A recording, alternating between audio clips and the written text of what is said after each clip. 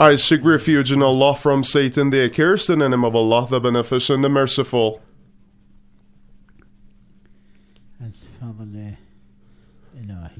I hope by the grace of Allah Almighty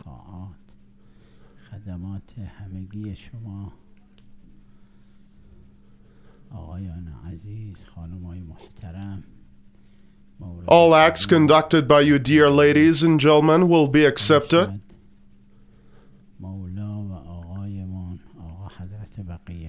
And may our Savior, Imam Mahdi, may Allah hasten his reappearance.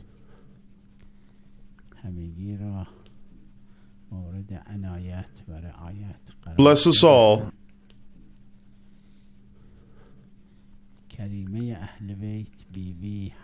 And also Lady Fatima Masuma, peace be upon her.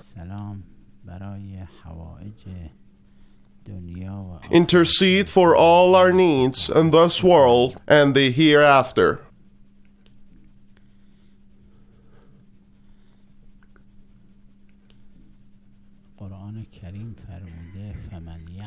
It is mentioned in Holy Quran and who has done an atom's way of good shall see it. And he who has done an atom's way of evil shall see it.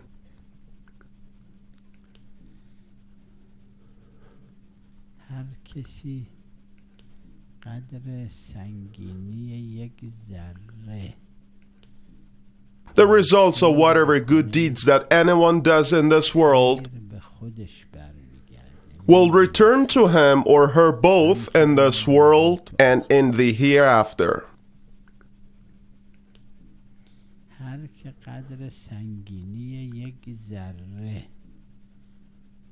and the results are whatever bad deeds that anyone does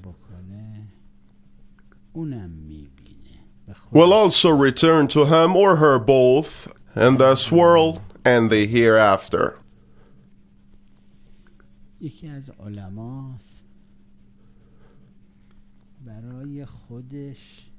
One of these scholars has tried to depict both his life in this world and his life after death for us in the form of a story. We have all seen this world and whatever is, everyone has seen it according to his capacity. All of us has seen the change of seasons, have experienced pleasures and adversities, have felt hunger and good meals.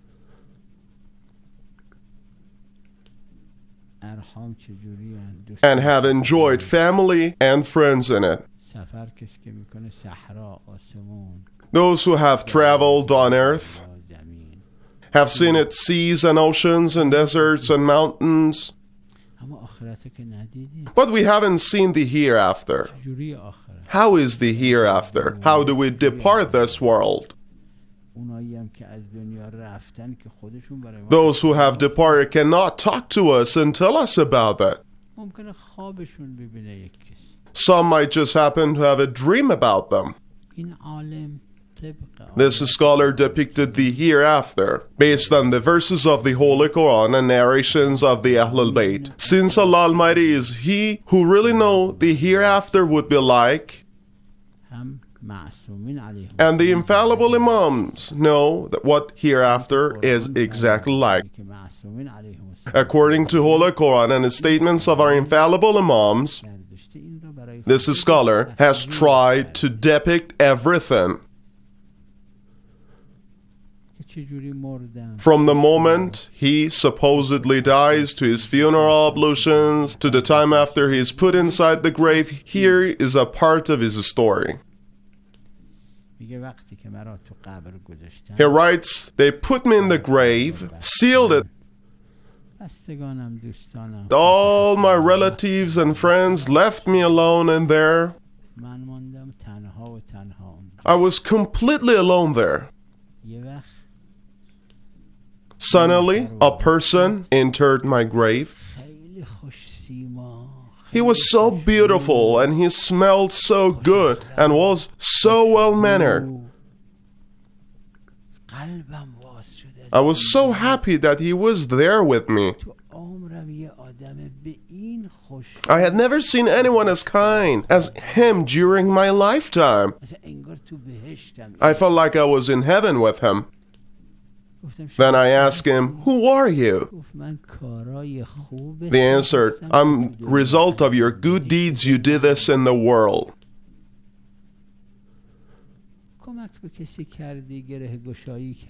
When you helped the poor, solved someone's problem, behaved well with people around you,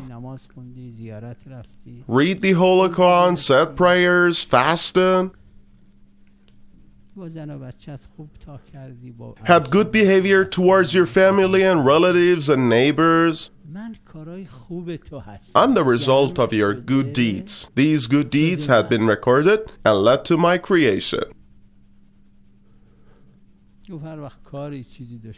Whenever you need me, I'm at your service. As he left me another, creature appeared in my grave while I was so lonely and isolated. This one was so ugly and it stunk so terribly and was so ill behaved that I felt a great sorrow in my heart. I had never seen a creature worse than this in my whole entire life. I had seen lots of bad things in the world, but none of them was worse than this. I asked him who he was, and he answered, I'm the result of your bad deeds in the world. Your bad deeds had been recorded and led to my creation. All you did to the others from backbiting, cheating, cursing, and oppressing.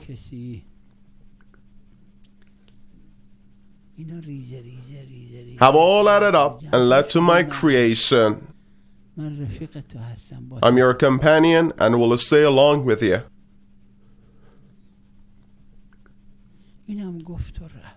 Then he left me alone. Both the good and the bad creature used to visit me every now and then. So, whenever that beautiful creature visited me, he helped me in problems and difficulties I had. And always lifted spirits and gave me hope. However, when the ugly creature came, apart from that I felt sick of his face and I was scared of him, it despaired me as far as he could. Whenever I had any problem, he used to tell me that I was never to survive those problems and would never be saved and I was going to end up in hell finally. He kept teasing me as far as he could. In another part of his story, this scholar says,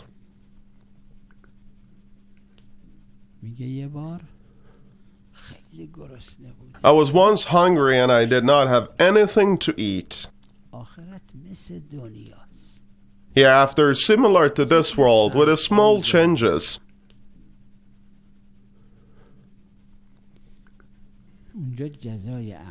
There we taste the result of our deeds, and all our deeds are magnified and bold. One small good deed corresponds to huge amounts of rewards there. One small bad deed will also inflict you there.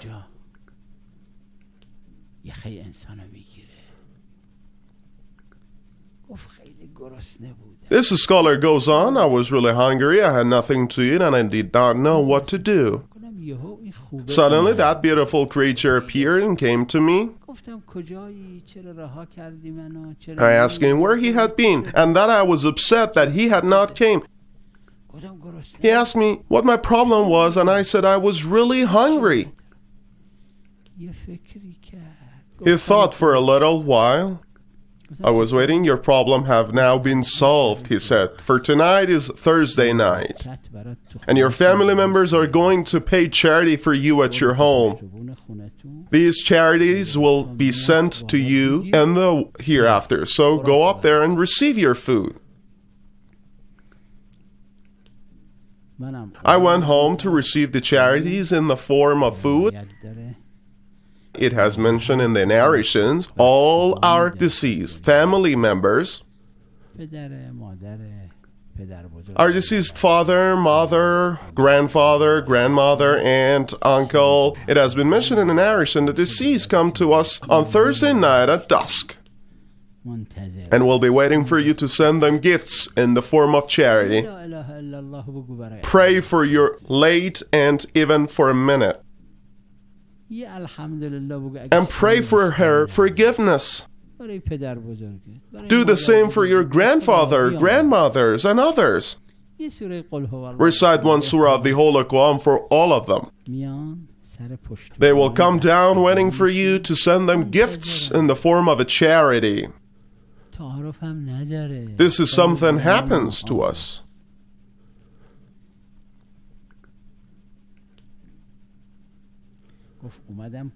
So he continues I went home, faced with many people, including family members, friends, relatives, and neighbors, and prepared different kinds of foods and fruits in a ceremony to commemorate me. I saw that these charities, so I reached out to grab them, but I could not get my hands on any of them. I literally could not get any of those charities. So even more upset than I was before, I came back to my grave. No sooner had I entered my grave, I smelled something with an exceedingly great pleasant smell.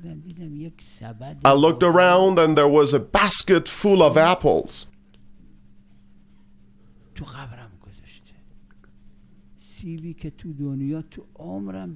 Such like apples that I had never seen in my entire life.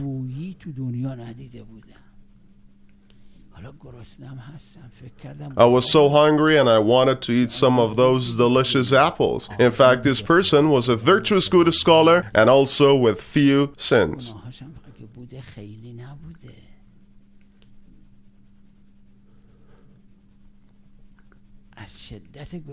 Due to extremity of my hunger, I wanted to eat some of them. But then I thought, I do not know whose those apples are and that he might not allow me to eat his apples. So I was really puzzled and I did not know what to do. The pleasant smell and attractive color of the basket of apples that made me dizzy, and my temptations and desires that made my mind busy were arguing and struggling about to eat and not to eat. And then the beautiful creature appeared. I asked him where he had been, and I told him that they paid some charity, but I couldn't grab any of them. It told me not to be upset and to eat those apples there. I said I wanted to eat them, but I did not know whose apples they were and whether I was allowed to eat them or not. He said, You must know that this is your grave, and nothing is brought here unless it is meant for you. These apples are for you. So I took a few of those apples and ate them. I had never eaten anything more delicious before in my life.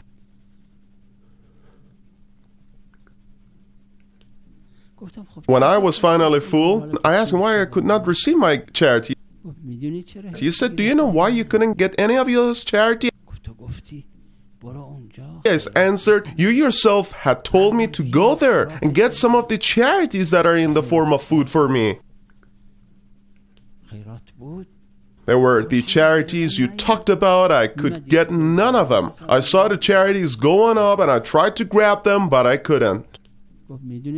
He said the reason that you could not get in of those charities was because your family was praying those charities not because of you, but because of themselves.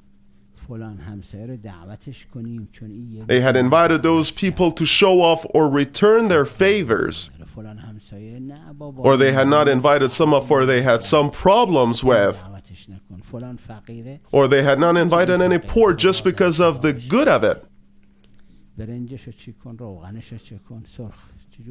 They were thinking the whole time about how to cook the food. As you can see, none of these charities had really been for you. They did not really mean to send you those charities. All these are mentioned in Holy Quran and narrations that this scholar has depicted them in the form of a story.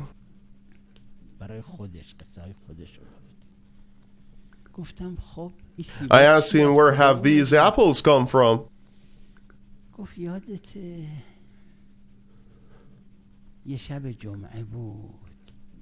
He answered, Do you remember once you visited Imam Hussein's holy shrine in Karbala? In fact, he's retelling the journey he had to Karbala. You went there, made a pilgrimage, said prayers, and read Ziyarat for Ali Akbar, Imam Hussein's son.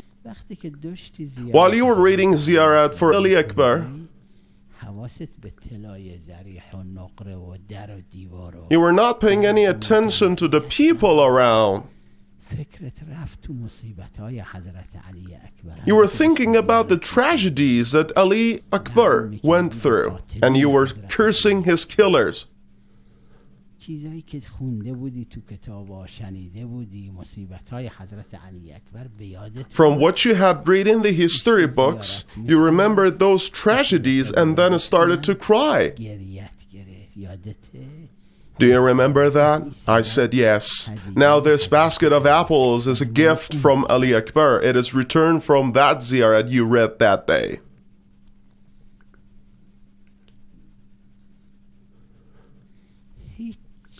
As you can see, nothing in this world is lost or wasted. Everything is calculated and measured and then returned to you. Good or bad, small or big, both in this world and the hereafter.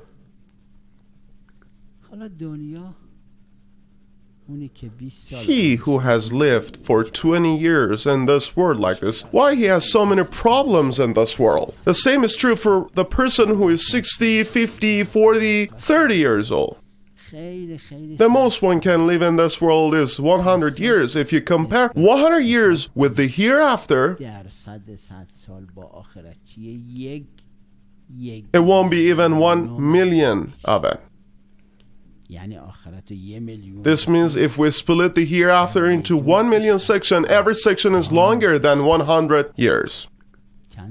How long is the hereafter? How many hundred years and thousand years is the hereafter? As the Quran explains, humans live there forever, which means there is no end to life in the hereafter.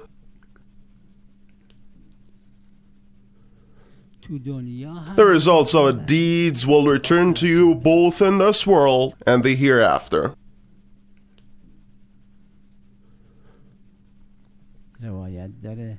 It has mentioned in an Arison that if a woman tolerates her ill-mannered husband,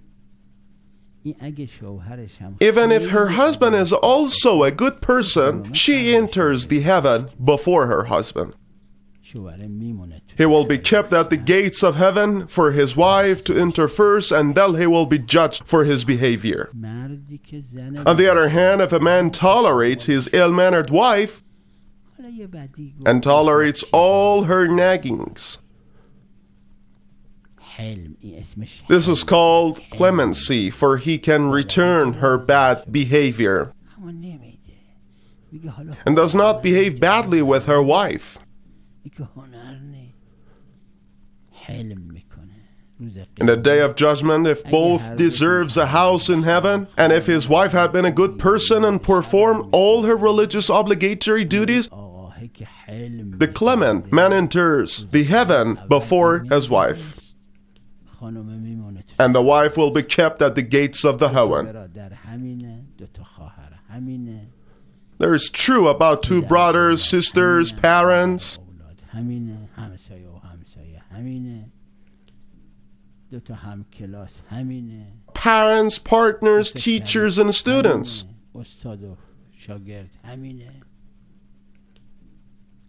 به خود انسان برمیگرده Anything you will do will return to you someday. خوب قرآن چه مثالی بزنه یه مثالی زنه Look how amazing example has Allah Almighty given in Quran in this regard. an example that you have never thought about it.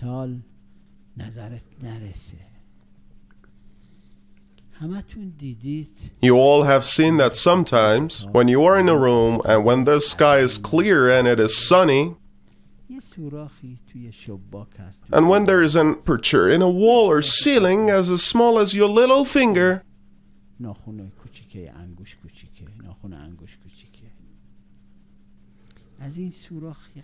a beam of sunlight pours into the dark room from this aperture. When you look at this beam of light coming from the aperture, you can see billions of particles floating in the air. And these particles are made by parts called atoms. And now there are billions of atoms here in this room, but your eyes can't see it. Under direct sunshine it can't be seen either, but when there is only a small bee pouring in,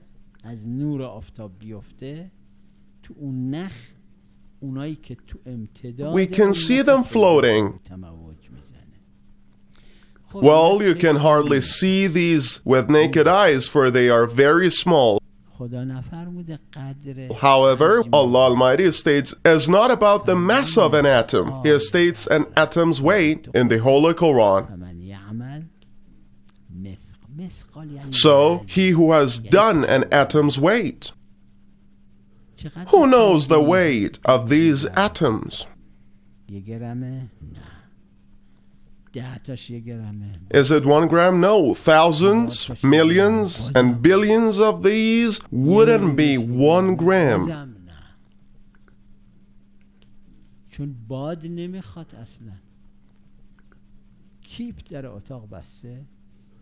Suppose a room with only a narrow aperture through which the beam of light pours in. You will see these atoms floating as a result of friction against air. They are so light and in fact weightless. Our Quran insists on its weight. I do not know how many thousand or millions of these atoms would be one gram. Allah Almighty said that the result of the tiniest good or bad deed as heavy as one of these atoms.